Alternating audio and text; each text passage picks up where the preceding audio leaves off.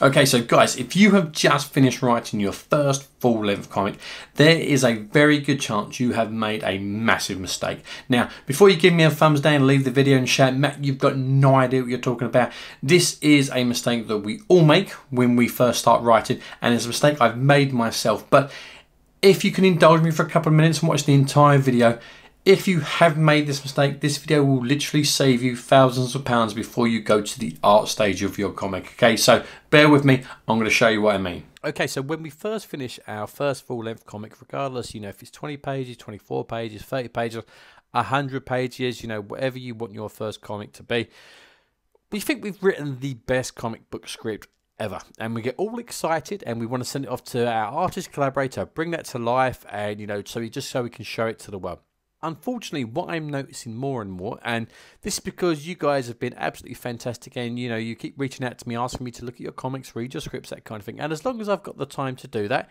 I will always happily help other people. Hence the reason that I'm doing this channel because I want to help as many people as possible. But what I'm finding is people are either rushing their scripts or they're dragging in their scripts when they come to their plotting. So what do I mean by this? So on the screen at the moment is um, a comic I'm reading at the moment called The Good Asian, which is absolutely fantastic. If you've not read it, go pick it up. So what I did was is I broke down the plot of the first issue and I put it into scenes. So and then based on the scenes, I then broke it down into pages to work out how many pages were within each scene of that comic. So if you look at the screen at the moment, you can see that scene one was actually only one page because that was more like an introduction overview kind of a, a, page. And then scene two was five pages scene three was six pages scene four was two pages scene five was five pages scene six was four pages and scene seven was actually seven pages long. So this particular comic had seven individual scenes in that first issue. So based on that you can see the actual comic flows at a nice even pace you know. The writer is not rushing or they are not dragging the story which is you know the fun of this particular video and i'm going to explain what I mean by that in a second, so stick with me.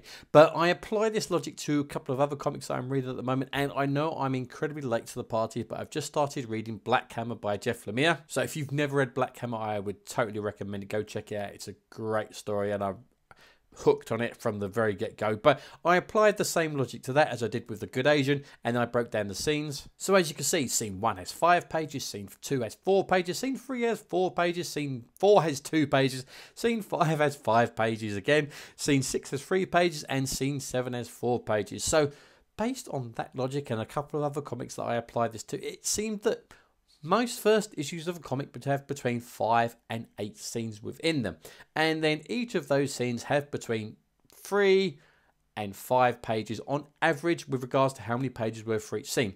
However, I've been reading a lot of scripts from you guys lately because you you know you guys trust me and I appreciate that. You know, you reach out and ask me to check out your comics and your scripts, that kind of thing.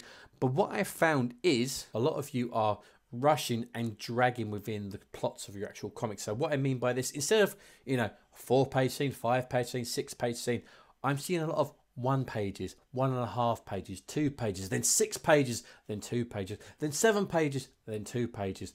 And what this does is this interrupts the flow of the comic. Now, I'm not saying that you can't have a one page scene or a two page scene. These are great bridging scenes within your comic. But if your comic is one, one and a half, seven, two, six, two, two.